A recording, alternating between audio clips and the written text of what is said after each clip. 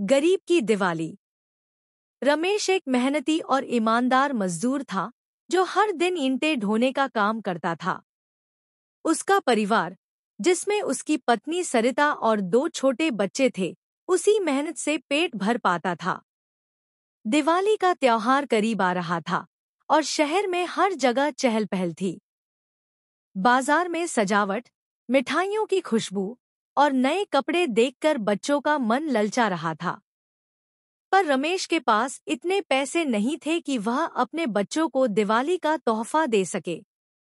रोज शाम जब रमेश घर लौटता तो उसके बच्चे दौड़कर उसके पास आते और पूछते, पापा, क्या हम भी इस बार नए कपड़े और मिठाइयाँ लाएँगे? पर रमेश के पास उनके सवाल का कोई जवाब नहीं होता। उसके मन में अपने बच्चों की खुशी की इच्छा तो थी।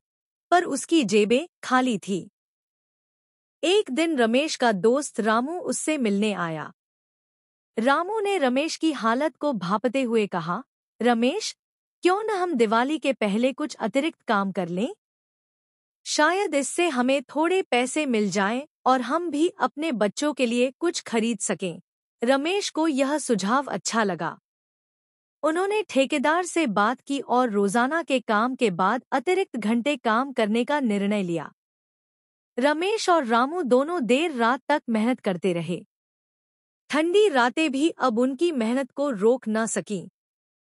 आखिरकार दिवाली के दिन से एक दिन पहले ठेकेदार ने उनकी मेहनत का पूरा मेहनताना दिया। रमेश ने देखा कि उसकी मेहनत से उसे थोड़ा अतिरिक्त पैसा मिला है। वह खुश हुआ और बाज़ार की ओर चल पड़ा।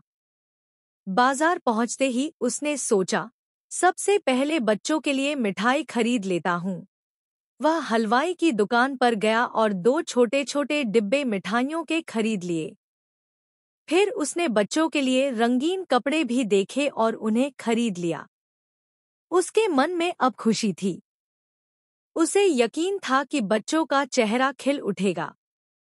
घर पहुँचते ही रमेश ने अपने दोनों बच्चों को बुलाया और उनके सामने मिठाई और कपड़े रख दिए।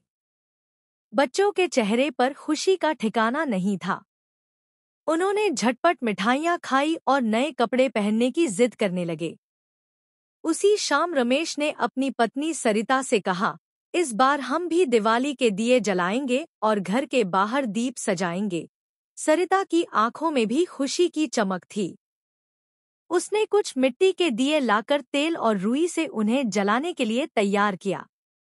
दिवाली की रात जब चारों तरफ़ रोशनी और पटाखों की आवाज़ें गूंज रही थी, रमेश का छोटा सा घर भी दियों से जगमगा रहा था। बच्चों ने अपने छोटे छोटे हाथों से दियों को घर के बाहर सजाया।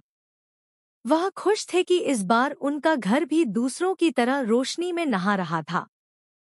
रमेश ने अपने बच्चों को देखा और सोचा, शायद ये दुनिया के सबसे महँगे तोहफे नहीं हैं, पर मेरे बच्चों की खुशी इसी में है, उसकी आँखों में गर्व और संतोष का भाव था। उसने सोचा कि असली दिवाली वही है, जहाँ खुशियाँ अपने आप को खुश रखने के बजाय अपने अपनों के चेहरे पर मुस्कान लाने में मिलती हैं। रात भर बच्चे दियों की रोशनी के बीच खेलते रहे और रमेश व सरिता के मन में संतोष का दीप जलता रहा।